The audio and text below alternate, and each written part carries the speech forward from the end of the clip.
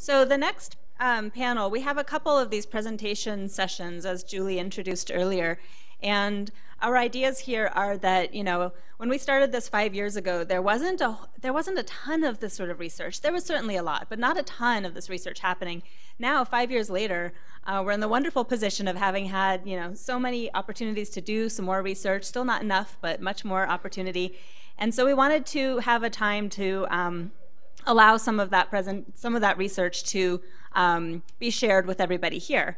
So we have a couple uh, presentation sessions. This first panel um, is really about collaborative research and the results that come from collaborative research that um, are, you know, it, it, sounds trite, but really truly greater than the sum of the parts. And so we've asked uh, Bill Thomas to moderate this session. He will keep everybody on tight timelines and sort of introduce a little bit about what it means to um, go through that process of collaborative research and the results that come from that.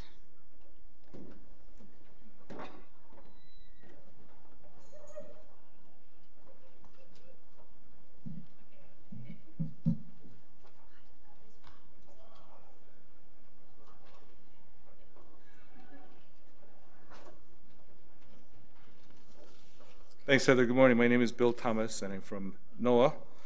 And for those of you who don't know what NOAA means, it means many things to many people.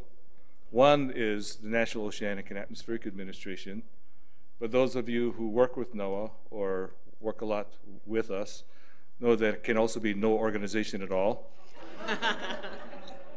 and Dan knows exactly what I'm talking about.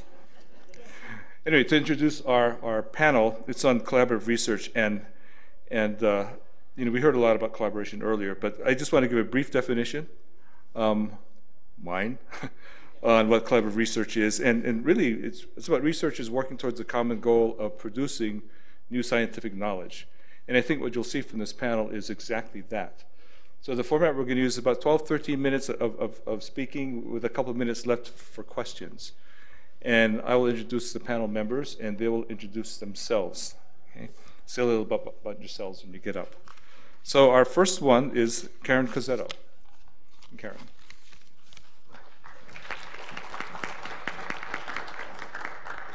Hi, everyone. It's really great to be here. And I'm one of the co managers of the climate change program at the Institute for Tribal Environmental Professionals out of Northern Arizona University, but I actually work remotely and I live here in Boulder. So uh, good to see some of the local folks as well as uh, all of the people from all over the country and our international uh, people who have come as well. And uh, today, uh, I'd like to talk about a project that Julie and I are working on. Um, we're very fortunate to be working with some colleagues at the Yurok Tribe Environmental Program Joe Hostler and Suzanne Fluharty. And we're also, I, I, just found out that we also have a Yurok tribal member here, Elizabeth Azzuz. And so uh, really excited to, to, see, to see you, Elizabeth. And she's also, uh, we've had a number of conversations with her and she's been involved in this whole process. So very, very excited. And uh, Elizabeth, I, I definitely would like to invite you if you have thoughts or insights during this presentation, please feel free to kind of jump up and share. So uh, as Bill mentioned, the, the theme of the session is collaborative research.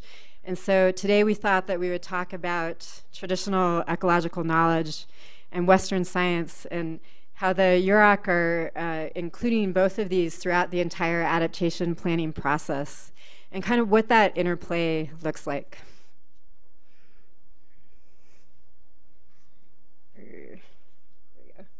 So just a little bit of background about the Yurok tribe. The tribe is located in Northern California on the border with Oregon, and it's the largest tribe in California with 56 enrolled mem- or 5,600, excuse me, enrolled members. And uh, as you can see on this map, the, the reservation consists of this one mile swath on either side of uh, the Klamath River, extending from the community of Weitchpec uh, to where the river discharges into the Pacific Ocean. Their ancestral territories, however, extend far beyond, and uh, it's you can see with that reddish line over there that that kind of demarcates the ancestral territories. And the Yurok have decided that their climate change adaptation plan will actually include all of their ancestral territories. And they felt that this was important because they see themselves as stewards of all of their ancestral homelands, not just their reservation. And because they also, you know, fish and harvest and gather and hunt uh, in beyond the reservation boundaries. And uh, this picture on the on the uh, right is a picture of the Klamath River near Weitchpec. And th this is a, a, quote from one of the tribal members. The, the river is like blood flowing through our veins. And it really speaks to that, like that intimate connection that the Yurok people have with the river and with their ancestral homelands and with all the species within it. Uh, so in, in September of 2002, there was a really traumatic event that occurred on the reservation. There was a massive fish kill in which an estimated 34,000 fish, or possibly even double that number, died. Uh, and these were mainly adult Chinook salmon that were returning home to spawn. And uh, this was uh, caused a lot of um, you know shock and grief and and uh, just uh, and as the uh, elders on the culture committee said, never in our time have we, the elders of the Yurok Culture Committee, seen such a mass destruction of our salmon resource. And uh, the direct cause of this fish kill were these pathogens, but also implicated in the fish kill were warmer water temperatures and lower flows due to dam regulation. Uh, and the, you know, the warmer water temperatures really stressed the fish out and the, the low flows led to fish crowding, and, and both the warmer temperatures and low flows led to uh, an increased pro proliferation of the disease and a faster spread. And for, for some Yurok who were learning about climate change, and uh, th this was really scary because what do, you know, what do we expect with climate change? We expect warmer water temperatures. There's earlier snowmelt that's going to lead to lower summer flows. We expect droughts to be more intense. So this was really a wake-up call and a, a real motivation to start preparing for climate change. And uh, the, the Yurok adaptation planning process can be thought of as occurring in five phases. The first phase is community scoping. Phase two is a vulnerability assessment. Phase three is identifying and prioritizing solutions. Phase four is implementing solutions, and phase five is assessing how we're doing. And both traditional ecological knowledge and Western science uh, play a role in all of these phases. So this, this is a slide uh, that I stole from Joe from one of his presentations, and this is how he defines TEK. He says TEK is often a combination of traditional teachings shared between families and community members through verbal transmission and observations shared over multiple generations on issues of cultural importance, such as subsistence, ceremonial practice, and traditional resource management, among others. And something that Joe really talked with us about also is how TEK is about relationships. And it's how it's about relationships um, of people with one another, about relationships of people with their environment, with the species within the environment, and about relationships among those species. So really about this interconnectedness. So phase one again is community scoping. And in this phase, uh, you know, people typically think about, you know, what, what's important to us? What are, what are we planning for? And, you know, what are our planning areas going to be? And uh, they also think about planning goals. And, and Julie had mentioned earlier that, uh, you know, for those people starting out, you know, you wonder how do you get started on a plan? So uh, what the Yurok did is in 2010, they applied for an EPA environmental justice grant. And they developed a community climate change prioritization plan.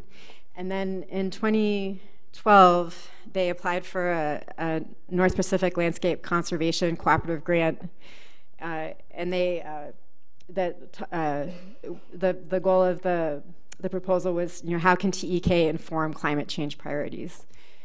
So for for the prioritization plan, what they did was they went to different district meetings and they handed out a short survey to kind of get an idea of you know what the community thought priorities should be. And and in the uh, in the landscape conservation cooperative grant, Joe went out and he interviewed. I think it was around ten elders, and these interviews were recorded and they were transcribed. And they're this really amazing and rich resource uh, that informed not only phase one, but uh, that we've been using throughout the entire planning process. There's so much amazing information in these interviews. Uh, and as, as part of, uh, you know, part of both of these projects, you know, different priorities came up, like protecting Yurok lifeways and culture, and, you know, concerns about health, and concerns about important food species, both terrestrial and aquatic. And these are some of uh, the aquatic species that the current plan focuses on, including coho and chinook salmon, lamprey eel, sturgeon, seaweed, and shellfish. And this quote, um, which is uh, by one of the respondents of the survey, said our cultural and spiritual identity must survive. This is imperative. This is who we are. And so, and this, this theme really came across strongly during these prioritization projects. Uh, so, so then in, in 2014, uh, YTEP applied for an EPA Science to Achieve Results grants.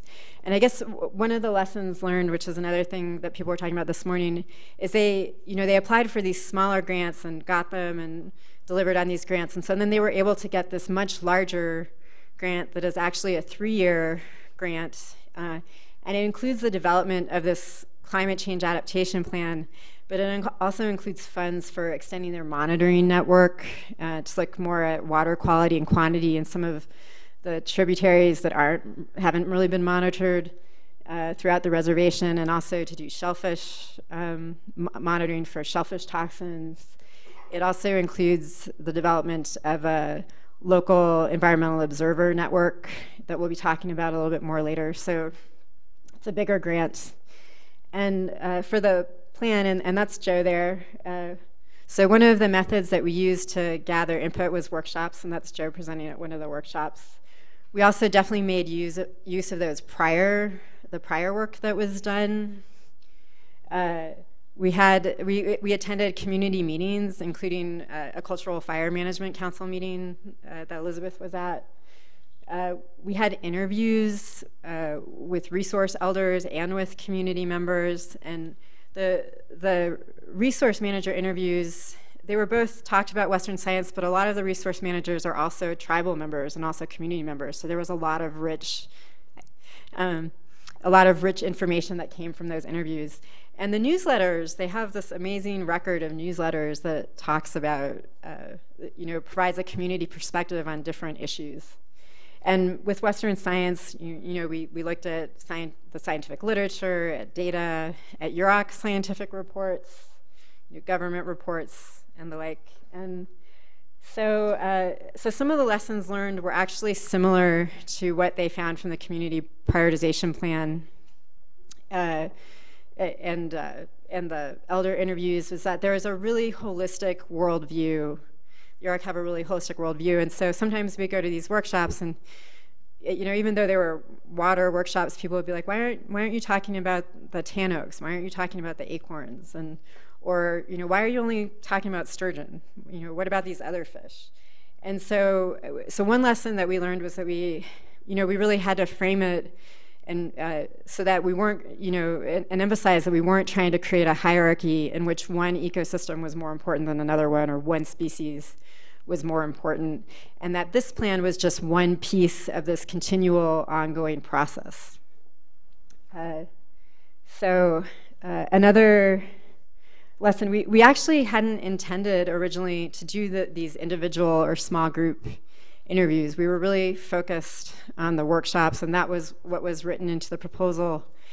But taking the time to have those one on one conversations or having conversations with groups of people was time that was so incredibly well spent. We learned such a huge amount of information and and the workshops are great, but you can have different kinds of conversations with people in different settings and having the chance to to have those uh, more personal conversations was incredibly valuable.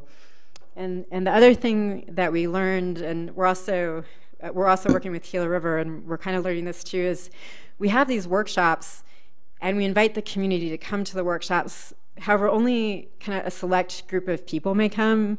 You know, people may not really know what climate change is, and you know, like why should we go to this workshop? Uh, people are really busy, and so we're asking them to take a chunk of time out of their busy lives. So actually going to meetings, going to where the community is already gathering, was really effective. And uh, like I mentioned, we attended a cultural fire management council meeting we attended, a natural resources council meeting, cultural resources, and we got a lot of great input that way. Uh, oh, I okay. I guess I really under. Okay. Uh, did you say one minute? Okay. um, okay, then I'll just end with this. So, with the vulnerability assessment. Um, we we took this viewpoint that uh, this this is a like climate change is just one factor, and there's all these non-climatic factors that interact with climate change to create impacts. And one of the most valuable things for, for this traditional ecological knowledge was it really told us about the climate impacts, but it really helped us understand all those non-climatic factors and how everything interacts to, to affect the system. And so that was like a really rich way that we could use traditional ecological knowledge. Um, and it was really important input. So I'll, I'll end there.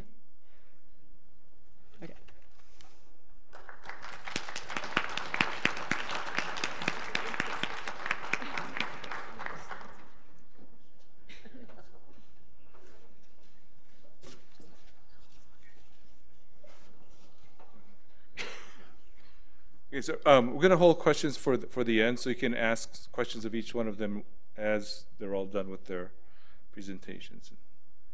Katie, what is the name of yours? oh, there it is.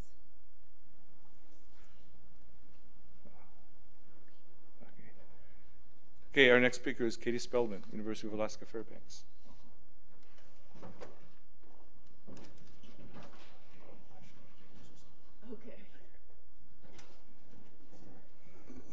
Hello, my name is Katie Spellman. I am the daughter of James Villano and Christine Villano.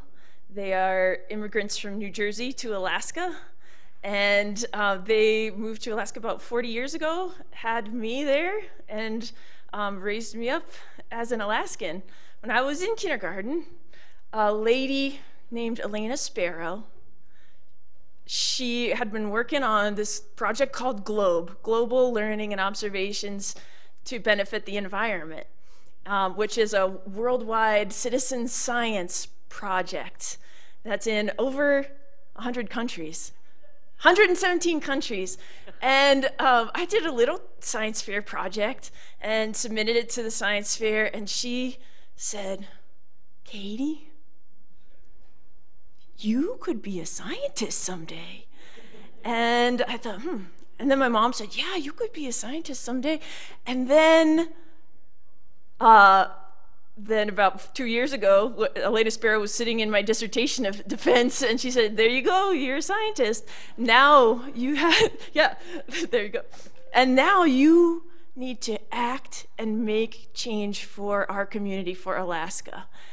And she invited me to write a proposal to NASA with her and with Melinda Chase and Bonnie Murray and Kristen, a lot of people here um, listed as our collaborators. She pulled together a team of people who are all interested in making a difference in communities in Alaska, our communities, our families, our, our livelihoods um, to figure out what, we're, what the heck we're going to do and get youth involved in this research, climate change research process. And so um, the kind of collaborations that we have are kind of three layers. The first layer is um, NASA uh, to, to live out our charge of thinking of all things as relatives, NASA has um, given us a cooperative agreement and they have asked us to actually play with our brothers and sisters that have also gotten cooperative agreements. So our first level of collaboration is collaborating with all these projects that are trying to use NASA assets for education in our country. Um, the second layer of collaboration is our project collaboration where Elena has, she's our spiritual mother. Um, and she and scientific mother and education mother and she pulled together people from so many diverse perspectives different nationalities different cultural backgrounds and different age ranges. There the spread she was uh, a grown-up when i was a baby and now she, now she's my a mentor. Um, so age and diverse perspectives and we all wanted we came at this problem thinking like how can we get kids to understand that they can make a difference in their community and that they can help their community adapt to climate change which is dramatically affecting most of the communities and livelihoods in our state. And we sort of gravitated toward this idea of citizen science. Citizen science um, it's a hot term uh, it's in the dictionary now. It's the idea that professional scientists cooperate with non-professional scientists to solve a real-world problem.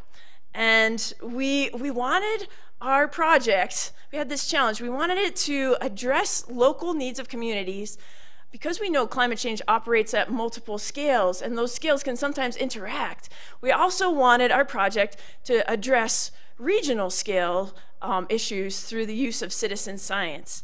And um, th there's, there's different implications when you think about the different types of citizen science on this spectrum and their implications for changing policy. And you can talk to me later about that if you want. Um, but we knew that GLOBE provided us with this tremendous asset, and NASA um, experts and NASA data also provided us with an asset to be able to address local issues that the kids determine themselves in their own communities and also feed into these larger climate change research projects. And so that's the model that we are trying to develop. And so we set out with these really bold objectives. And then this first year, we're in our first year of the project, uh, we are figuring out how to actually do this. Um, and we have a, a, few target audiences. Um, they are educators, that could facilitate a project like this, be their guide on the side to youth in communities around Alaska. And these include um, pre-service and in-service teachers, they include 4-H leaders and other informal science learning centers, and they include community members. And so um, we instead of saying we, we got this all figured out, we actually conducted a needs assessment this year to see what these different audiences wanted um, out of a project that included citizen science, kids collecting data, climate change research, and, um, and NASA assets. So what did they want? And so we did a, a, qualitative analysis of essays from some of our experimental projects this year, uh, where we were playing around with some ideas, and we um, coded their essays to gauge what their interests and their needs were for this sort of, of learning. Um, and here's our sample sizes. We also relied on larger sample size data sets that were either from statewide that have been conducted previously on this topic or um, national surveys or um, intensive interview studies. And what we found, and this is, we're trying to fit all these pieces of the puzzle together, um, was that teachers, they really wanted to engage their students in data collection, citizen science that braided indigenous knowledge and Western thinking, uh, Western science. They wanted their students to have a personal connection to climate change. Even, you know, I was out in Shishmaref working with kids, and even some of the kids in Shishmaref, you know, it's like, this, is, this affects my mom and dad, and this affects my grandma and my uh, you know, but I'm looking at the two people that I just met from Shishmaref, um, and so we want the kids to have this deep personal sense too that their lives, their futures, even if they're in kindergarten, their futures are going to be affected by a changing climate, and the teachers wanted that too.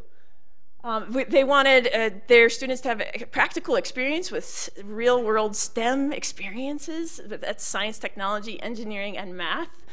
Um, and they wanted their students to be a part of real data collection uh, that not only solved, helped solve their own local issues, but was meaningful at a larger scale in, in cooperation with a university or an agency or something like that. Uh, 4-H leaders, they just wanted um, 4-H priorities met and they wanted their, their students doing some sort of environmental research. Um, and that was fun and like a club, you know? Um, and then community leaders and community members, they wanted generational dialogue and dialogue not only in their own community, but they wanted their youth to know that their community is connected to other communities who are experiencing the same interesting and troubling changes as them. Uh, they wanted they, they, their youth to learn from elders and scientists. They wanted their youth connected and empowered to feel like they had a meaningful role in their community to help solve problems. And they wanted to know um, what their youth could do to help mitigate climate change effects and, and to know how it affects daily life using their own measurements and observations. Um, then we did uh, some work with undergrads too, and the undergrads, they were most in interested in um, networking, career development, and um, seeing new places and getting research experience. They wanted the adventure of it and to be in the field and so we started to boil all this information down uh, with all these diverse perspectives from our team and came out with this enduring understanding that the big idea of our project would be. And it's that we can make a difference on climate change issues by listening to our elders and to knowledge bearers, inquiring, observing, and then acting. And we had a bunch of other big ideas that we have kind of crafted our program around. And we've ended up with this kind of model that we've been playing, and we're still experimenting, and uh, we've tried some parts of it and tried other parts of it. Um, so it starts with the observations, kids listening to elders and knowledge bearers in their community, scientists about the signs and impacts of change and then um, connecting it to their own experiences of change in their community, even if it's on a short time scale. What do they notice changing? What are they interested in? Um, identifying an issue for the community and then brainstorming how they might be able to address that using science. And uh, luckily for us, we have the, the resource of Globe, which has a diversity, a buffet of, of approaches and tools for measuring all sorts of changes in the environment. Um, and then they need to know what their culture teaches about that subject and what their elders know about that subject. And so the Association of Interior Native Educators, which Melinda Chase leads, she's talk to her, answer, Melinda will answer all the questions after this. No. um, and, and so they are developing, uh, they're revamping some of their existing climate or um, culturally rooted culturally relevant curricula on topics of interest to Alaska Native communities, um, and including a climate change thread into that, um, those, their curricula. Actually, I picture of that right there. Um, some examples are their units on salmon and fish, berries, birds, medicinal plants, um, where the kids are, are doing um, pra practicing their culture as well as learning science. Um, and then they collaborate with a scientist. Uh, they talk with a NASA scientist through virtual connections that Bonnie Murray from NASA Langley provides. So she connects scientists working on that issue um, and NASA to kids that are working on that issue in their own communities, and they exchange ideas about, you know, what have you found? What have you found? How, you know, what do you think about this? Um, and so having that virtual connection is pretty neat. And then they um, actually design a project that investigates the issue and then apply that to some sort of adaptation, planning, or stewardship activity that they, the kids devise themselves. And so um, we start by training the educators and community members in a summer course. It's a week-long course um, that goes through the, the following um, phases asking the, the, teachers to reflect on how climate change has affected themselves, how climate change influences the Earth system, so we get the multiple scales um, idea through to teachers. Um, we provide, give them a host of tools that they might be able to use to address climate change issues in their community, um, and then guide them in the process for interviewing elders and bringing elders into the classroom um, as well as connecting to scientists. There's, you can see Bonnie's face on that screen. If you really squint, you can see Bonnie. Uh, and then what can they actually do about the issue and, and some sort of plan. So I'm gonna take you into my living room because Dan said that we gotta think about relatives. And I'm gonna show you a picture of our relatives because the, the real collaborative effort here is between youth, their communities, their elders, scientists, and each other. And so here's uh, an example that we have uh, done this year. This is Terry. She's a teacher that came to our training this summer. She um, just learned how to ride a four-wheeler, and everybody laughed at her because she was like, she's lived in the village of Venetie at the foothill, at the base of the Brooks Range in Alaska. Um, it's a village of 200 people. She's lived there for four years, and she really is excited about climate change issues. Um, after attending our training, the, she went back and she said, um, started talking to people. What have you been noticing? And the, and what have the kids been noticing? And this year was an amazing berry year in uh, pretty much the entire interior Alaska. crazy berry year. They, the kids were picking berries all the time. They were so interested in berries. And the elder, who also teaches Gwich'in language in the school, um, said, you know, we can't really uh, depend on berries that much anymore. There's increasing and she used different words, but in my science words, is increasing uncertainty, increasing variability in the timing and abundance of berry harvest. I wish I had an actual quote from her because it was much more elegant than that. Um, but and uh, Mary Rose had also, she said, you know, we really can't depend on it anymore. And so um, I study the way that phenology um, is changing and how that affects berry um, availability. And so they called me in, and we, uh, I spent most of my time for several days just playing and going to community um, hangout nights and judging Halloween contests. Uh, then we started thinking about berries. What do we know? You got to look really, really close when you're studying something. And these are kindergarten, first, and second graders and they had noticed this themselves like why are there so many berries and what's going to happen and what if what if it changes? Um, like mary rose said uh, they studied them dissected them and the teacher was really interested in helping the kids think about systems and matching it to the seasonal activity calendar uh, that they, so in the summertime, what kind of activities do the kids do? And they draw it. And so she said, I want a circular graph, okay? I want a circular graph that shows the relationships between, because Mary Rose, the elder had also said, you know, freezing, freeze up is happening different now too, and maybe that is affecting the berries and whether they stay on the plants or not stay on the plants um, for fox and and um, other uh, birds to eat in the wintertime. And so we made a, a, circular graph to match the multiple types of data that she wanted their students to think of and the connections between. We talked to a NASA scientist that studies the way that things freeze up. Um, and they were mostly fascinated by the, the fact that he had seen a penguin. we went out and we measured and counted berries. We adopted plants. This rose hip plant was actually named Princess um, Princess SpongeBob or something like that. They, they adopted and tracked their own plants.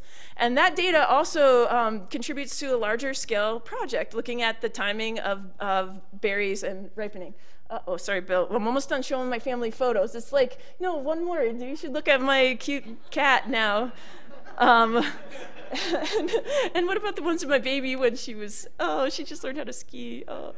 Um, and then we, we collected data on the atmosphere using the new Globe Observer app, um, which was pretty cool. And then they, they, they I was like, so okay, kids, what, what can you do to actually make change in your community? How, you, Mary Rose says that you, we need to um, maybe help help us prepare for uncertain berries. And so the kids had some of the kids had seen their their moms or their aunties or their grandmas making jam. And so they like, we could make jam because that we still have a, a, jar from like when I was three in my cabinet. and so that that for them that was an adaptation strategy that was real for little kids that their grandma could still have berries two years from now, even if there wasn't enough this year. And so they made jam and distributed it to the elders in their village so that they could be ready if it was a bad year. And so I guess I just wanted, to, because William's giving me the hook, um, but I just wanted to uh, think about the power of these sorts of collaborations, especially intergenerational collaborations. This girl named Abby, she, just like me when I was in kindergarten, and Elena Sparrow said, You could be a scientist. Abby was showing me her journal, and she said, Katie, look at this. And I said, Abby, you are ready. You could be a scientist. You can change, make change in your community. Look, you've already done it, and you're only six years old. And I think she believed it. so,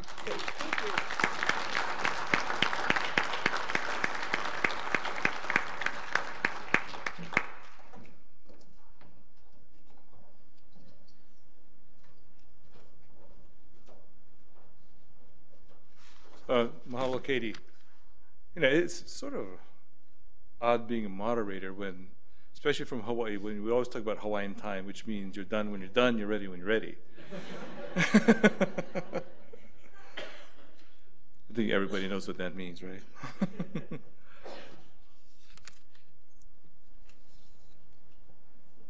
which, which one is it?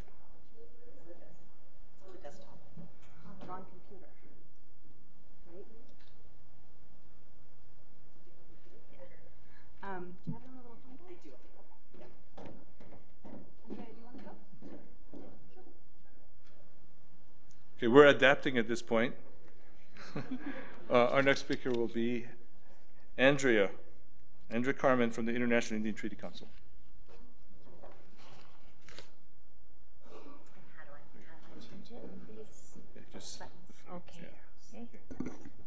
Leo Simchaniabo Mawayaim, respectful greetings to you, my relatives. Uh, I'm from the Yaqui Indian Nation, Executive Director of the International Indian Treaty Council.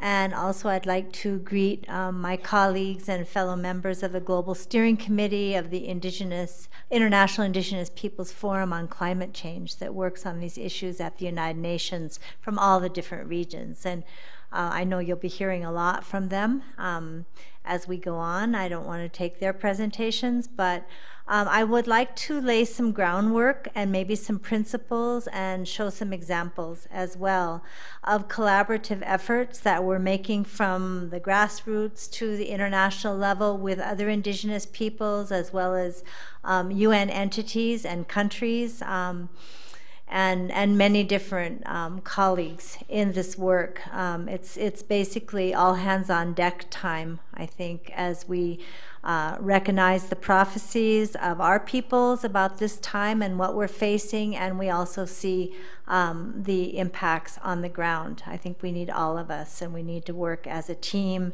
as the human family. Uh, we approach this work uh, with a rights based approach as well as a culturally based approach. So, those are some of the principles I'm going to be laying down.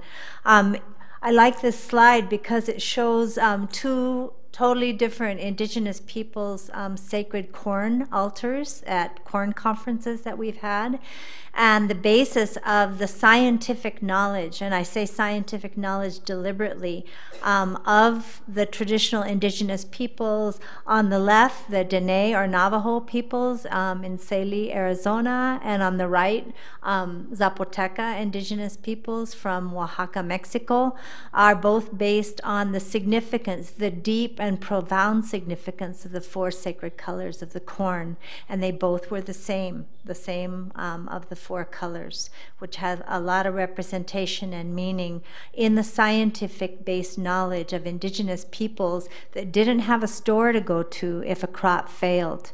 That knowledge had to be very, very profound and very specific and very practical as well. Um, in the international arena, I just want to give um, recognition to um, the vision of cultural, spiritual, and traditional leaders who had the vision that we as nations should be sitting uh, with the family of nations, not just to take the violations of our rights, but also to contribute to these discussions that we're contributing to today. And this was when, before there was the United Nations after World War I, there was a League of Nations. And uh, independently of each other, again, uh, but with the same vision, a spiritual leader um, from the Maori, and we have a representative of the Maori, Ratana, and Chief Deskaheh from the Haudenosaunee, the Cayuga, in what's now upstate New York. Uh, both went to the League of Nations as treaty nations. Um, and traditional leaders, knowledge holders, um, to sit down with a family of nations. And I uh, regret to tell you, they were not even allowed in the building in Geneva, Switzerland. So you can see we've uh, come a long way. Not far enough, but we've still come a long way. Um, the International Indian Treaty Council, just a moment um, about IITC. We were the first indigenous organization back in 1977 um, to receive what's called consultative status with the UN Economic and Social Council, and in 2011, um, the only one to be upgraded um, to uh, what's called general consultative status. And a principle that we take into the United Nations that's very important for this discussion today is that indigenous peoples speak for themselves before the world arena. We are the experts about our land, about our rights, about where we want to go, and about what we're seeing on the ground. And we're beginning to see this uh, recognition um, in the world arena as well. These are two of our youth speaking at the UN Expert Mechanism on Rights of Indigenous Peoples a couple years ago. The theme was access to justice for Indigenous youth. So, of course, we would have a 22 year old and a 16 year old addressing um, the UN in, in that forum.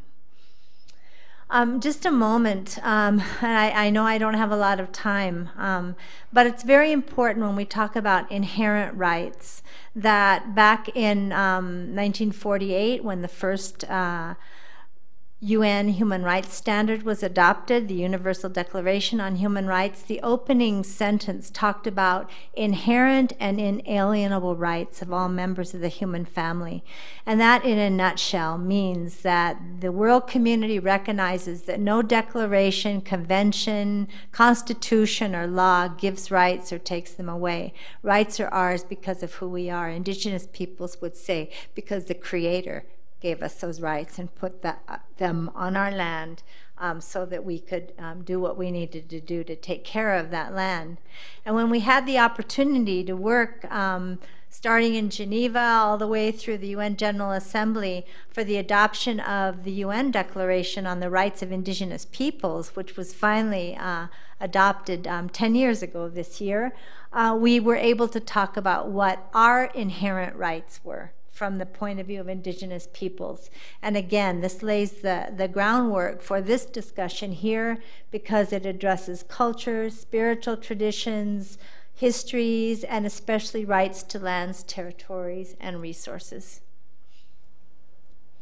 Um, the International Indian Treaty Council began partnering uh, with the UN Food and Agriculture Organization back in um, the late 1990s. And by 2003, we partnered with FAO um, to carry out a consultation of indigenous peoples to find out what the obstacles were to the exercise of our food sovereignty, which is a rights based and culturally based approach to our relationship to our traditional subsistence foods. And uh, we traveled around and we got responses from over uh, indigenous peoples in 29 countries, representing over 5,000 people. You can see one of our representatives working with a group of elder and, and young women in one of our Yaqui communities to get responses. Uh, we got them from the Arctic, from Africa, from the Pacific, and we were able to begin um, to compile a collective response um, globally by indigenous peoples. And this is my husband, by the way, standing in front of where the Mexican government is siphoning away um, the little fresh water that we have from our Yaqui communities in northern Mexico. Um, but the very first obstacle to the exercise of food sovereignty for indigenous peoples globally was denial of land and water rights. Environmental contamination was another one. This is Alaska, St. Lawrence Island, military toxics, and of course the very well known tar sands um, on the right in, in Alberta, Canada. Another, um, this, this was actually collaborative um, scientific and, and, indigenous people study we did looking at the effect of pesticides in our um, Yaqui territories, many of which are banned by the United States and exported anyway, under which is legal under international and national law. Um, these are just two of the children that have died as a result. Um, but this is a combination of a scientific presentation and uh, testimony provided by midwives and families showing uh, the impact on the development of children. This is Dr. Elizabeth Guillette, very well known study um, showing on the developmental impact of children in the highly contaminated pesticide areas. And we took together, and this is an important principle, the test over 80 testimonies from community members, midwives, health workers, along with the scientific studies that were done, and took them both to the UN Committee on the Rights of the Child and the Committee on the Elimination of Racial Discrimination, as well as other UN bodies. Uh, we're working with FAO, Rotterdam Convention, and together, those two, we were told, the combination of the uh, indigenous community testimony and the scientific studies were um, the result, um, were, were what brought about a result that actually was historic in terms of the recognition of these impacts. So that's another principle on collaboration. But the question was raised, who owns, who owns the knowledge? Probably indigenous peoples have been studied more than any kind of animal on the planet. Who owns the results? Who controls the dissemination of what comes out? Um, very important um, principles for you all to think about. Uh, another, uh, another impact, of course, is um, imposed development and denial of free prior informed consent. These are um, fish with tumors um, as a result of the tar sands runoff in Alberta, Canada. And uh, recognition that the chiefs of Alberta, Canada have said that they are calling for a moratorium, and yet their consent was um, over, um, overrun by the oil companies and the Canadian government.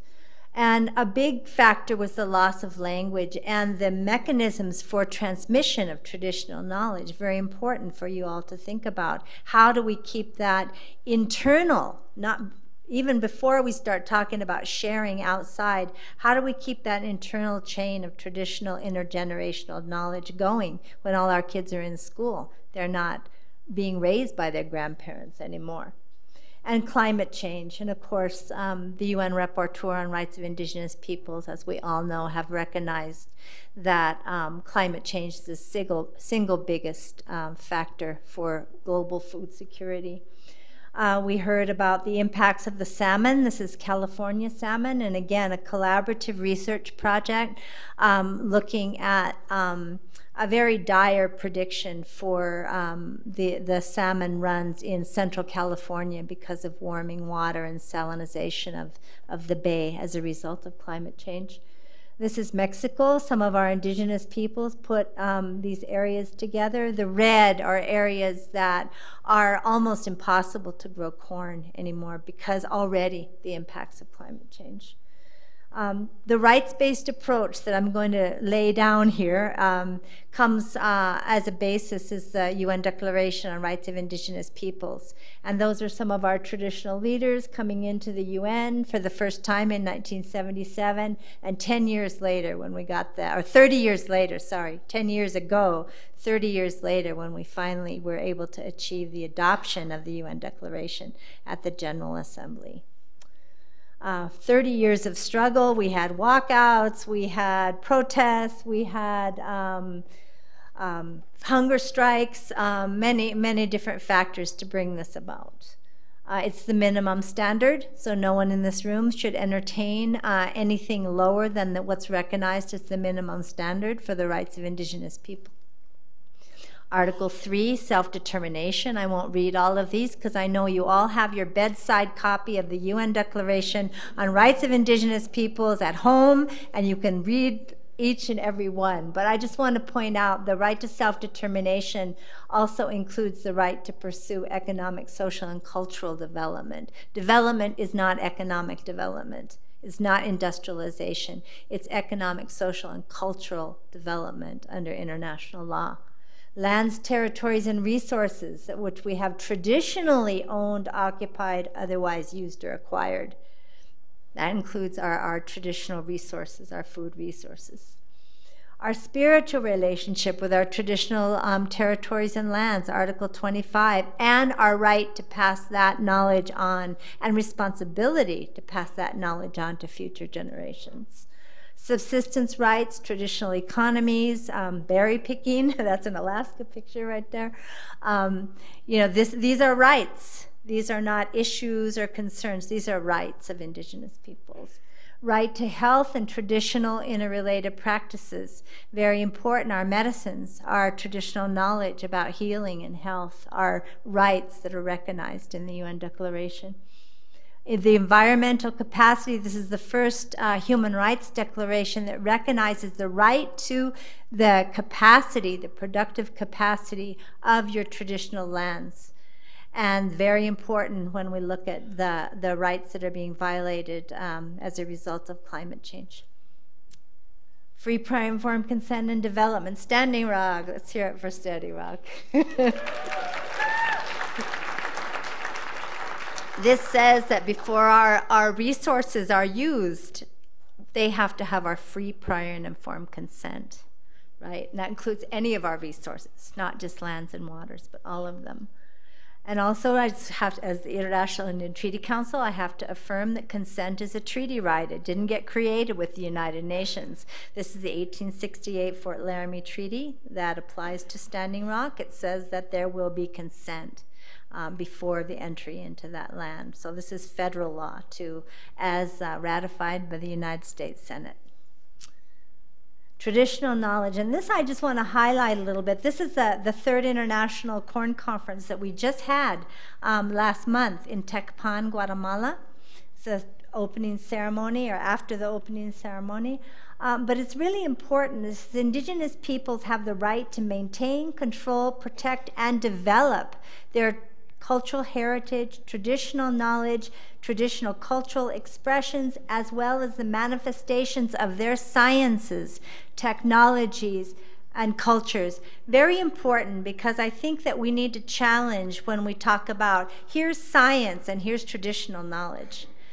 Indigenous peoples' scientific knowledge is recognized by the United Nations. Let's think about that as we talk these three days. And just to conclude, I know I'm short on time. There's a gentleman standing here who's going to be looking at me in a minute. Um, I think it's really important to recognize the exchange of knowledge among indigenous peoples uh, as well. This is the second International Corn Conference with the trade of seeds and knowledge.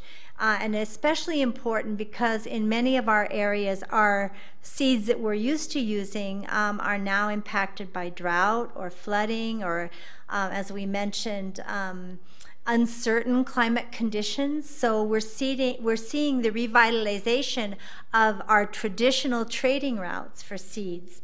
How did corn get from Guatemala and southern Mexico all the way to northern Canada and South America and out to the Pacific, even in Aotearoa? Through our traditional pre colonial trading uh, among ourselves. So we're revitalizing those trading routes, very important. Um, a lot of tribes are beginning to look, this is the, the adaptation of the buffalo, the restoration of the buffalo, which were destroyed as an act of war in the United States against the plain tribes. Um, and now we, there's 60 tribes that are part of the Intertribal Buffalo um, Council, bringing back the buffalo. But very important, as we were doing preparation for the um, COP21 in Paris, uh, we, we started he hearing uh, from some of those tribes. And do you know that in 2014 there was a freak um, storm in oh 2015 sorry uh, uh, in early an early snowstorm in South Dakota and 100,000 cattle died but not one buffalo because buffalo can withstand those unpredictable um, climate changes, drought, you know, blizzards, and cows can't. So the tribes are understanding that they actually are mitigating and even preventing um, some impacts of climate change. Buffalo don't tear up the grass like, like cattle do. It holds the moisture, the natural, the natural grassland restoration. Protecting sacred places also is a form of um, adapting to and even preventing climate change. My brother, who's a scientist, a biologist, um, studied uh, the Tule marshes in California, where a lot of the sacred shell mounds are, and also a lot of source of baskets and other crafts. Um, and he said Tule marshes absorb more than, more than 10 times more carbon than a pine forest, a mature pine forest. So indigenous peoples are realizing that their efforts to protect their cultural and sacred places are also part of climate change. Teaching our youth um, in Alaska and Arizona about how to work with plants and especially looking at the changing conditions. There are different times that you can gather now and plant. Um, the creation of food sovereignty zones that are free of GMOs, um, pesticides, and extractive industries is another stand that indigenous peoples are making. Um, I don't have time to read this beautiful quote, but this is one of the, the um, Hitali, the, the um, spiritual leaders from the Navajo, in the creation of a food sovereignty zone on the Navajo Nation for protection uh, of the traditional seeds, because of course GMOs are a real attack on the ability to adapt um, to climate change with traditional seeds. Um, this is a study that we did, and I know we're talking about studies here. We actually reached 318,000 individuals um, in preparation for Paris in North America alone, US and Canada, and also some from Mexico. And just to say that 94% of the respondents affirmed that climate change was important, and 98% um, said they had seen the effect, and 96% of the respondents affirmed that traditional knowledge could be very important um, in adapting to and mitigating climate change. Uh, this is Paris, um, COP21. You see, we had a protest. We had to take to the streets to uh, get the gains that we had. That's the Indigenous Caucus there. And there are some of us who got into the opening plenary. I actually got to hear in one day speaking live. Me and Jenny from um, the Samis were in the room there. She's there, and you'll hear from her um, in a little bit.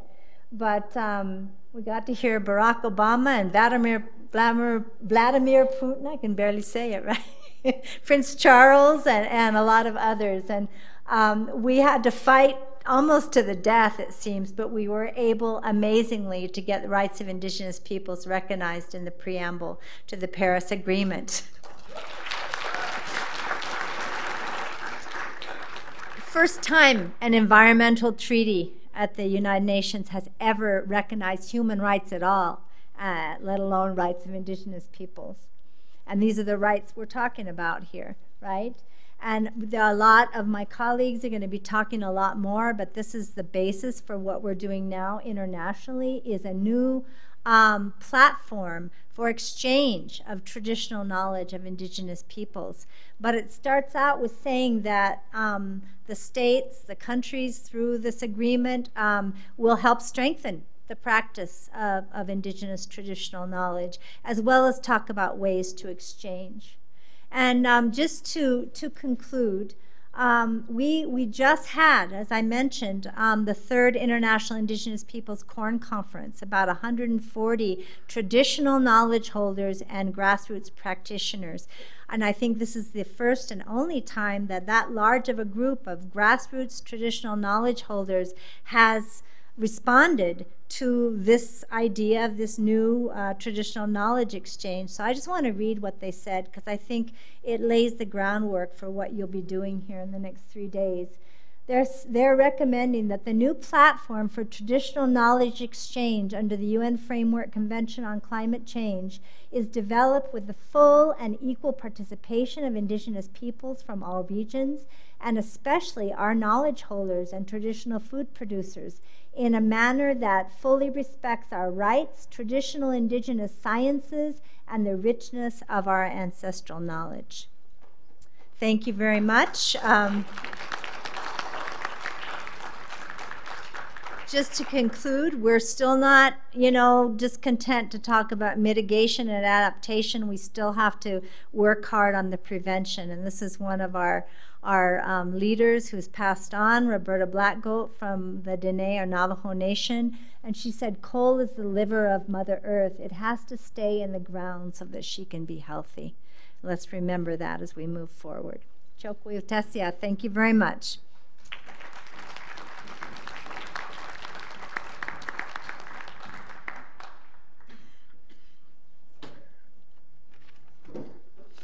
Mahalo, Carmen. I also want you to know that I actually have a hard copy of the UN Declaration of Rights of Indigenous People, as well as a digital copy on my computer and my iPad and my phone. and and 15 years ago, a group that we formed, there's a bunch of federal as well as non-federal entities, actually adopted that as part of our platform. But is it tattooed on your chest and back? I can show you later.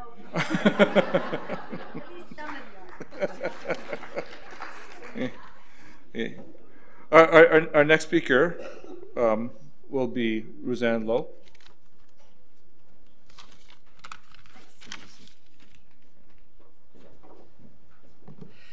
So, good afternoon almost. I'm very pleased to be here. And I'm going to be talking a little bit more about a program you've heard earlier when, when Chris was talking about GLOBE. And I wanted to start out with a story because one of my friends had applied for a job at the University of Hawaii at Manoa. And uh, she has, she's a colleague of mine, and she had given my name as a reference. And, um, and so the person was saying, oh, you know, this is a program, it's a lifelong learning. Uh, elders learn about uh, and stay charged and stay connected with the community. And then after, you know, I gave her a glowing recommendation, she says, well, what do you do? And I said, well, I'm working on an app so that people can uh, protect their uh, communities from mosquitoes. And she said, wow, she says, you know, my elders that are here in, in Hawaii, they were children during World War II, and they remember fondly the times when they got out of school. Every two weeks, they would get out of school for an afternoon, and they would go up and they would round up the mosquitoes and they would destroy the habitats so that the, they, that the island would be disease free. And I thought, wow, what a concept. You know, 70 years ago, this is what people are doing, and this is what we're trying to do again. And so, um, without further ado, I just wanted to talk a little bit about this new program we're starting, which is called the Mosquito Habitat Mapper. And unlike the talks that we've just got had from Chris and Andrea and Karen, this is a research collaboration that hasn't happened yet. The app is going to come out in one month. And um, I'm presenting this because um, I understand the importance of mosquito-borne disease um, on our tribal lands. And uh, around the world, more than 17 million people die every year from mosquito-borne disease, and many, many more are debilitated from things like West Nile virus. And so this is a tool that can be employed um, at any level of community that can then um, uh, take a step in, in promoting um, their own health. So we actually, I'm to see how I can, how do I move this forward? Is it this button here? Yes. So, yeah, we actually tested out the app um, with uh, people in, in Brooklyn, and we also work with some um, communities that were in um, um, some parishes in New Orleans, and there was actually some young kids that were involved as well as elders and adults, and they said, wow, this is better than Pokemon, because we're going around and we're finding things, but we're finding real things, not just virtual you know, images. And so we decided, well, we should probably have like a little Pokemon kind of image to go with our, our project. So there you go. There's our mosquito larvae Pokemon. Um, and, um, but basically what we're trying to do is we're trying to address the fact that communities around the world, everywhere in the world, are facing mosquito-borne disease issues. And so in, in a time where, where climate change is happening, you wonder why I'm involved in this because I'm a climate change scientist. Well, it's because of the expanding distribution and the, um, the expanding range of mosquitoes that's happening because of changes in our climate that connect this with the issue that I care the most about. But what we want to do is to give people tools so that they can deal with these hazards and find solutions for themselves. And so that's what we're doing right now. And so it's not available yet, but in one month, we will have the mosquito app. and it will reside on the same um, on the same platform as the cl- Cloud app. If you're familiar with the Globe Cloud app, which has been very popular, we've had more than 50,000 downloads um, in the last uh, few months. Um, it will also be there, and it's a very um, it's a very simple process. People who are interested in participating in collecting data about mosquitoes for their community, they can choose to participate at a number of different levels of complexity. And I'm going to just show you quickly what this looks like. So on the left here, the first thing is the app will automatically tell you where you are and what time you're making your collection. The second thing is the app asks you, do you want to take a sample? And if you say, yes, I want to take a sample, then they, it guides you through taking a sample. And then you take your sample and you pour it out on a plate and you see the mosquitoes. And then you're asked if you would like to identify whether or not they might be uh, mosquito um, taxa that are vectors of, of disease for humans. And then you can say yes or no.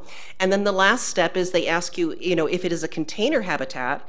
And many of the, the mosquitoes we have today that cause disease, some of the Culex species that carry West Nile, um, the Aedes aegypti, Aedes albopictus, that is responsible for a variety of things like chikungunya and dengue and uh, Zika, um, yellow fever, uh, those mosquitoes um, can be identified directly using this app. So, and then the data all goes uh, back. You, you, the, the citizen science take pictures. The data goes back to a database. There are specialists and entomologists will make sure that the identifications are correct if possible. And then it goes into a cloud um, database where it's then shared and stored, and anybody then can query that data. So I think when you're trying to understand what's happening with range expansion of mosquitoes, and you're trying to understand where are these populations, where are we going to have our next outbreak, who needs to be who needs to protect themselves now, who needs to take you know um, steps in the future, you can see why having a global platform like this would be very, very important. And this data can be queried then by any um, neighborhood, any community that's interested in the data. And so, what I thought I would do really quickly, because I didn't want to take too much time, but I wanted to convince you that this is really useful and easy, I wanted to just show you what the, how the mosquito mapper looks like. And you are some of the first people in the world to see this because it's not going to be out for another three weeks. But basically, what our app does is we look at a developmental stage of the mosquito that, does, that lives in the water. So we're looking at the larva. And the larvae don't bite, they don't, they don't communicate disease. So there's no, you're not putting yourself or your grandmother or your child in harm's way by trying to go and find these larvae because they are not the vectors of disease. It's the females that are looking for their blood meal so that they can make their eggs. And those are the adults. And we stay far away from them. And that's one way that our app is different than all the other apps that are now available about mosquitoes, because the other ones ask you to take pictures of adults, and because NASA is part of the US government, um, that puts that that is seen as putting people in harm's way, um, and so we don't want to do that. And so that's why we have focused on the uh, the larva. So the first step is you document the habitat. So the habitat might be something like um, a, a, pond or a cistern or a, um, a, a uh, septic uh, field or a, a paper cup that was left along the side of the road. Okay? So you document the habitat, you take a picture of that, you upload it in, in the app. The next thing is we ask if you want a sample. So here are some girls. We tested this in Barbuda, in the, in the country of Antigua and Barbuda in the Caribbean and they're um, taking some samples here um, um, in, a, uh, in a ditch. Uh, here is someone else who's taking some samples. Um, you, can, you, can, use many different things, whatever's available. You can use a net, you can use a turkey baster, you can use a ladle. It doesn't matter how you take your sample because all you need is a is all you need is a, is a, a grab sample to see what's there. We're looking for presence and absence and not numbers. And so then, once you do that, if you look at right here on the right-hand side, has anyone ever here seen a mosquito larvae, watch them wiggle in the water? A lot of people have. This is what they look like. They're kind of nondescript, but if you see them up close, they're going to look like that Pokemon that I just showed you, right? And so you take a, we ask people to put, make a sample, you put it in a bottle of water, and then you pour it out on a, on a plate. And then these are the steps, these are the simple steps it takes to identify what your mosquito is. So you pour the water out on a plate, You um, you suspend it in a drop of water so that, that it's able to float a little bit so you can see all the different sides. Um, you, you suck a little bit of the water away using the corner of a napkin so it doesn't swim away, and you're able to look at it under your microscope um, attachment. And then you might want to take a, a, toothpick, and because it has some features you want to see, and you can use that to move it around. And then um, this is the most amazing thing is that, you know, for between five and ten dollars. You can you can order um, on amazon or some other source. You can order a macro lens that you can put on a digital camera. And this turns any camera into a microscope. And the the, the, the phenomenal um, importance of that i can't can't be i think uh, talked about. You think about all the schools around the world that have never had microscopes. And now, if a teacher has a smartphone, they now have a microscope. And these attachments um, give you about 35 power, which is what you need to identify your mosquitoes. And so then you just simply take your phone, you put the, you clip the lens on there, you line it up so you have a nice circle, and then you put the you, you take the mosquito, put it in the view, and then you focus down, and then you can see, you can see it looks like a Pokemon, doesn't it, right there? There you go. And then, um, and then this is just taking a look up close because you need to see some of the very close characteristic features. So if you're doubting, this is the, the end, this is the end, which is the uh, siphon, which is how the mosquito gets its, gets its oxygen as it's floating on the surface. And um, that's taken with this little $5 device. Um, and you can see all the features you need to determine that this is in fact a Culex um, mosquito. And so then the last step is tip and toss.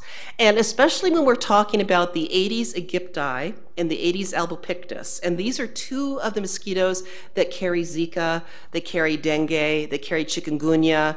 These are diseases now that are already in the States, um, in um, Florida and in, in, in, Louisiana and in Texas.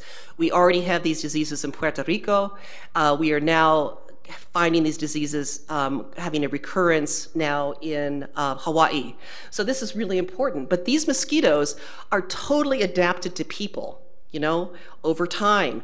And they prefer to live in habitats which are discarded containers of people. So if you have a drink bottle that's beside the road, if you have a piece of trash, if you have a can, if you have a cup, if you have a, you know, um, a tire, uh, that's how the Aedes um, albopictus actually came from uh, Asia to here as they hitchhiked in tires. Um, but these are all places where mosquitoes' mothers love to have their nurseries to raise their young. And so when you find them, we document them and then we dump them out. And if you dump out these larvae on, on the ground, they don't survive, they die. And that keeps the population low. And so every time someone tips or dumps one of these containers, you're actually improving the health of your community. And um, this was a tough thing to convince NASA to do, but we actually, um, because they just like to collect scientific data. And there's nothing scientific about collecting how many things have been tipped and tossed, but we thought that it'd be a really motivational factor for people who are involved in this project. And also then, you know, each community can say, look, we have tipped out 10,000 different places. We had about 10 or 15 per time. That's 150,000 mosquitoes or whatever it is, you know. So I think it's a very important metric. The data can be downloaded by anybody. It comes to the GLOBE database that was talked about earlier by Chris. Um, anybody can access that, that database. And we will also have lots, we already have lots of um, educational materials that we have created to support this, including for very young people and maybe our older people. Uh, mosquito bingo games, because we know, I know my grandmother loved bingo, um, but um, we have all different kinds of materials that can support the education as well as having a little bit of fun with this as a community project. Um, and so um, the most important thing then is just to realize that, as uh, Chris has already said, GLOBE is already an international network. And one of the things that um, happened, and I just got back from Geneva, I was at a UN workshop, is that we were invited to come to talk about how important citizen science for mosquitoes is worldwide. And we have just received um, um, just a couple days ago, the UN has agreed to create a prototype of a worldwide database that would be much larger than the GLOBE database, but include um, data from everywhere, um, and that our, our particular app, as well as other apps that are found around the world, um, will then feed into this database. And then we can really begin to, as a group of, of humans on this globe, begin to address you know, things like malaria, which have been one of the biggest problems that we've had, humans have had um, throughout the course of history. Mosquitoes have played a huge role in human history. So um, that is all I wanted to say, except that I wanted to say that once again, the last three talks you heard were about research collaborations that are already in progress. They are robust, they are well developed, they have many partners. And I would like to invite you, if it is appropriate to your community, to partner in this effort to collect mosquito data. And we can work with you so you can make it your own. Um, lots of citizen science projects are such that the scientist decides, hey, we need this data, we need people to collect stuff. And um, this is not that kind of project. Here, we're providing a tool and saying, you know your problem, you know what you want to find out, use the tool in the way that you see fit. And so I look forward to um, inviting you to participate. Um, with respect to the um, uh, the, uh, the project in Geneva. It's called Global Mosquito Alert. We came up with the name two days ago. And there is a place for indigenous populations to participate in the process of developing this uh, platform. So I would love to talk to you about that um, at a later date. Um, so thank you very much for your time. It's a little bit different kind of talk, but I'm very excited about the uh, importance of this for, for health and for our communities. And it's also a way that we are registering and, and responding and adapting to the climate change that's affecting us all. Thanks a lot, everybody.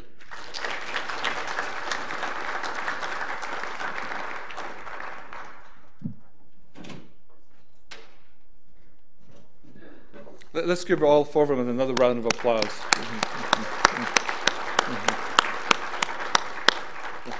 Uh, you know, I just want to make a comment, Rusan's, you know, in Hawaii, we also, when I was a kid, used to spray DDT. You know, they used to go around in these, these trucks and we'd all run behind them, you know, which could explain some of my quirks. Um, but we also joked, you know, when there's a lot of rain, I live in Kaneohe in the windward side, a lot of mosquitoes. We used to joke that it was our state bird. Yeah. Uh, Alaska too. I, I heard about that. You know, they don't bite through our shirts, so ours. Uh, um, okay, so we have a few minutes before the film starts for, for questions that you may have of any of our panelists. Makokwa, I saw your hand go first.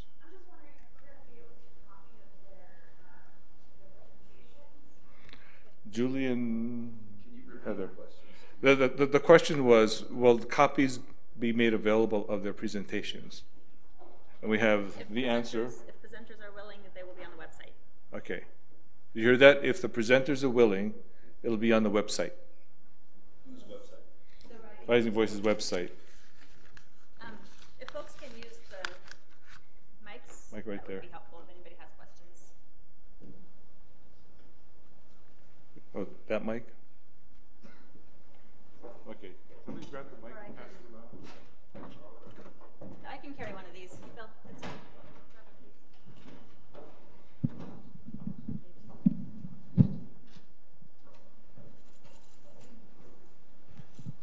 Hi. Um, I have two questions, one for Karen and one for uh, Lu- Luzanne. Um, Luzanne, uh, I just downloaded the GLOBE Observer app, and it, is that the same one that the mosquito one will be part of, or will it be a separate one? Yes, it's exactly the same one. Okay. So what you'll see is when you see there right now, it says, uh, thank you. Uh, right now you see it says clouds, and underneath it's going to say uh, globe mosquito. Okay. So stay tuned. I'm told June 25th. I have to take it to uh, Brazil uh, for a test on December on June 27th. So it better be done, or it'll be awkward. Yeah, for now, do club observations. Um, there's actually a big campaign on Earth Day. There's uh, hundreds and hundreds of communities that are signed up to simultaneously observe clouds um, because it is the biggest question mark in global climate models. And so, um, Earth Day, morning time, year time. Do, now that you got the app, do it. Shameless promotion. Uh, and my other question was um, for Karen. Um, we only got to phase two of your presentation. How many phases were there? Okay. Okay. Will your presentation be available?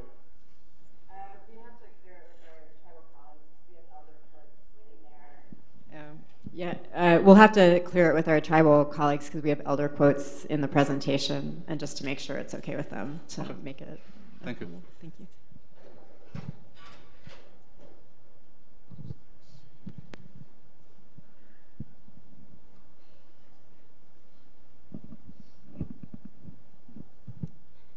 Thank you for the great uh, presentations for, from all the panelists. Uh, firstly, to say uh, from Andrea presentations, like how really we can use the UN Declaration on the Right of Indigenous Peoples to make the indigenous peoples' knowledge and the science knowledge uh, together to fight the climate change, and how this one can come back to our peoples, to our communities, to help us to better adapt and protect our land natural resources. That's really very, very important. How all the scientists here in the room can use from the some of the um, articles that Andrea showed in her presentations to help us as indigenous peoples for other peoples to use the declaration to make it. Um, my question is about uh, the uh, mosquitoes. I'm coming from Africa, so I really know how the mosquitoes are killing people more than HIV and many other sickness. Then I know we have a lot of data in all our Sahelian countries. If we have flood or we have uh, uh, dry always there is a lot of mosquitoes. Using the app is really a very good and advanced technology, but those apps cannot be useful for our communities because they do not know how to use it. They do not have a smartphone. Uh, how like you can help to go beyond the uh, uh, data data from the scientists or from the people who went to schools because communities do not know all those uh, uh, issues. Thank you. Thank you so much. That's a wonderful, wonderful question. And this is one of the issues that we're that we're facing as we have these exciting new technologies, and they do have a lot of penetration into um, developing worlds and developing countries. Um, but there are still lots of uh, communities and, and um, that don't have access to these. And so, you know, one of the things is, is happening is that as people take these measurements, it's going to help develop those maps uh, so if a community, for instance, itself is not collecting the data, the data around the community is going to be certainly very, very important and will allow us to uh, allow our uh, local uh, public health officials to make decisions. Um, part of the problem is a lot of these communities don't even have public health officials to make, the, to make decisions to do control. And so um, one of the things that can happen, i even if the app cannot be used, the materials that we're developing can be used for education and people can, can learn about tipping and tossing and you don't actually have to report it in order to make a big difference in your community. And we are working with um, uh, the smithsonian institution has a uh, international uh, education program that they're developing um, on zika and those materials will be translated into the un languages and so those will be available so I don't have a great answer for you now. I wish we could just give everybody a smartphone and a uh, macro lens clip-on. Uh, but in lieu of that, um, I think that um, things are changing very rapidly, and I think that the price point of the macro lens at $5 is something which is pretty realistic to get at least one in every community maybe in the next few years. Thank Please you. do. We have time for two quick questions. There's one in the far side. I just want to add oh. something. I think one thing that wasn't talked about is what is the response? And it's very important. For example, DDT is one of the original 12 dirty dozen chemicals, nine of which were pesticides that were prohibited uh, for use by the Stockholm Convention uh, when it went into effect. There have been other chemicals and pesticides added since then, and the Conference of the Parties is coming up um, later this month in Geneva, the eighth Conference of the Parties. However, there are still exceptions for malaria control on the use of DDT and other highly toxic chemicals that, that are known to cause birth defects, reproductive system cancers, um, developmental defects in children, et cetera, et cetera. So I think part of the responsibility of those that are doing mosquito research is also to look at what is the response and what is being used in communities, in, including indigenous communities, when they do find these insects, um, and what is the long-term impact that is, you know, well known, but in fact not communicated to communities that are, you know, being sprayed by planes and other kinds of things. So uh, there is um, non-toxic mosquito control. I think um, Vietnam and other countries have developed it, but we need the partnership of the scientific communities, especially those that are looking at mosquitoes to say, okay, what happens when you find them and what is being used in those communities without the full knowledge, especially of indigenous communities on the ground. Thank you. Great, two So- very quick questions, one over here and then one here. I was curious about the uh, microlens and the parameters of uh, what it, what it's how um, it can focal, uh, and also um, what new types of um, innovations are you guys thinking about to utilize that technology with, and then where do we gain access to get it if we're prepared to be a part of this? Great. I think those are great questions. I think maybe those wouldn't be of interest to everybody, so I can just, I'll just tell you really quickly that the macro lens um, is um, about 35 power, and so it has sufficient resolution to be able to do this. We are working with the development of uh, digital recognition software, optical recognition software, so that the um, pictures that are taken by the citizen scientists can be recognized by the machine. And the rest of that, a really great question. I'd love to talk to you over lunch or something. Thank you.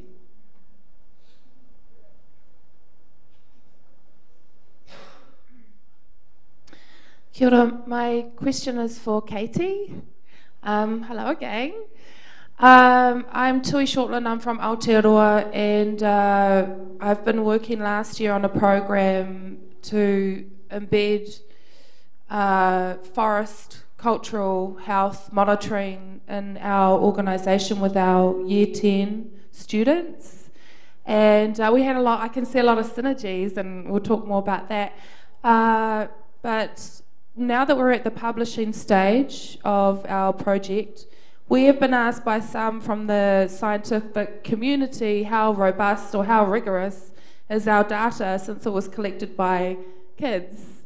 And um, I think it's a type of attitude uh, in this area. And I was just wondering do you face that as well? And if so, how do you respond to those attitudes?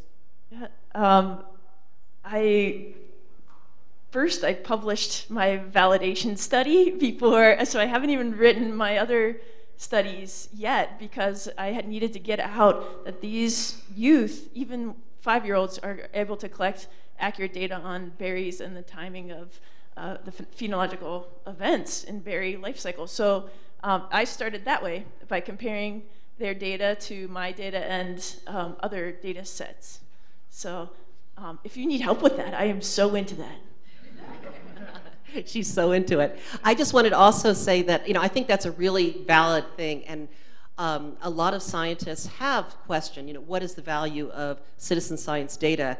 And GLOBE, for a long time, has engaged scientists in the use of the data um, for their own scientific studies as part of that demonstration of validation. And all I can say is when, when GLOBE was invited to the table at the UN to try and solve a problem, which is worldwide, and said, Your data is important to us, to me, that was, I think, the best validation that we can have. So um, I'd be happy also to talk to you about that later.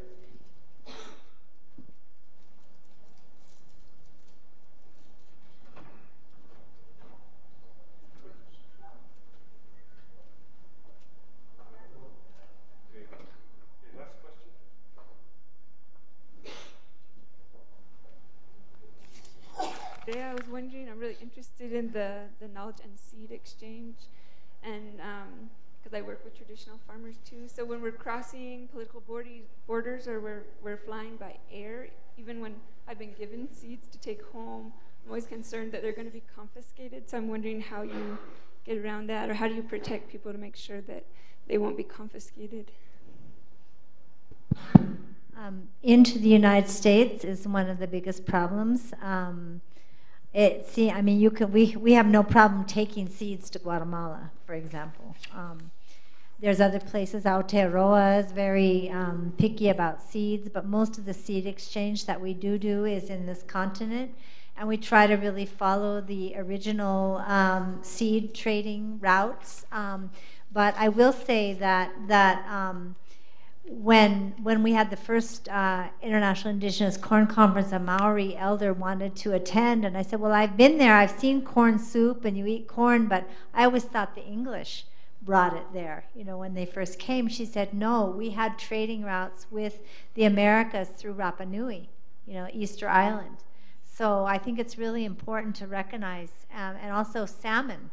Um, when the Winnemem Wintu wanted to restore their salmon run that had been destroyed in California by the damming, the closest genetic um, parallel they could find were salmon in Aotearoa in New Zealand. Um, and so we need to look at those original, that's part of our original self-determination and right to development is those trade routes with each other. And some indigenous peoples have been keeping seeds that actually originally came from somewhere else, um, like the Hopi. One example for us was the Hopi that can grow uh, corn with no, basically no source of running water um, no rivers, no, no, no um, streams, etc., no lakes. Um, and this was original seeds from our people, and now they're trading back with us. Another example is one corn farmer. These are original seeds, not GMO seeds, um, that had corn that grew at the first corn conference from planting to maturity in 40 days. Little small small corn and small ears. But very important for indigenous peoples that now have very unpredictable growing seasons. So this is one of the most important things that we have done is bring indigenous peoples together to start to reestablish those trade routes taking it across the border in violation actually of Article 36 of the UN Declaration of the Rights of Indigenous Peoples um, across borders, um, is very challenging, especially into the United States, and frankly, people hide it coffee works really well, you know, because like just buy that coffee at the airport in Panama or Mexico, whatever, you know, you, you have to. That's the only thing that you can do. Or, you know, be somewhere where you're trading. Um, we, we find ways, but it is a challenge into the United States in particular. Thank you. Okay, let's thank our panelists again, and thank you, everybody.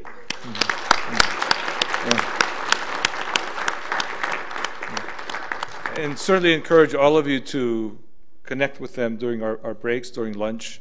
Uh, obviously, there are a lot of questions and a lot of great stuff, but thanks again. Thank you, Bill and panelists. Um, we now have the opportunity, just before we break for lunch, to hear very briefly from Ava Hamilton about a very brand new film, um, Protect Our Public Lands. And Ava, did you want to come up and chat about it? And then that film will run uh, as many times as we can fit it in over the course of the break. So feel free to stay in this room, watch the film, circulate through the um, cafeteria so that we're not all standing in line at once. Um, might make the most of your time. Then we'll also show it again during lunch um, tomorrow as well. So you'll have a couple opportunities. If you catch the first half now and the second half later, um, we'll make sure that you see the whole thing. Uh, this documentary was produced by the uh, Paper Rocket uh, production company out of Flagstaff, Arizona. It's a young production, uh, they're young producers, uh, Jake, who is Hopi, Danae, and Deidre Peaches. And we took a trip, organized, one of the organizers is here. Uh, she's not here right now. But uh, we took a trip from Flagstaff, Arizona, uh, picked up some uh, activists such as Eloise Brown, uh, stopped off in uh, Norman, Oklahoma, met up with some Shawnees who told us about the um, Thunderbird Lake there in Norman, Oklahoma. that is the water source, the water supply and it was a man-made lake uh, built on the burial ground of the Shawnee, and their remains were not moved. And the Shawnee that we met there uh, do not go to that area, nor do they drink the water. But I don't know if anybody else knows that. I didn't know that. So we uh, were a three van caravan uh, traveling uh, to Philadelphia to attend the uh, Protect Our Private, Private uh, Lands Act uh, rally, which was in, yeah, it was in, it was in June or July. I was on the trip, I can't remember. Uh, but it was a very incredible trip because uh, these were very active, knowledgeable indigenous people from across our land. And um, so this documentary is about that trip. We stopped on the way over, we stopped at the Cahokia Mounds, which um, I didn't know that the Shawnee were also uh, mound, mound from the mound culture. And we hiked, the rest of us Indians hiked up to the top of the mounds and took pictures like tourists. And uh, the Shawnees wouldn't go up there because they said that they were, uh, there were burial mounds up there. So it was really uh, interesting to me to meet um, these other uh, tribal people and to know, I was very appreciative that they know their history. And um, so then we traveled on to uh, Philadelphia and stayed along the way. We camped out uh, in um, community centers and with people and uh, attended the rally where there was about 10,000 people.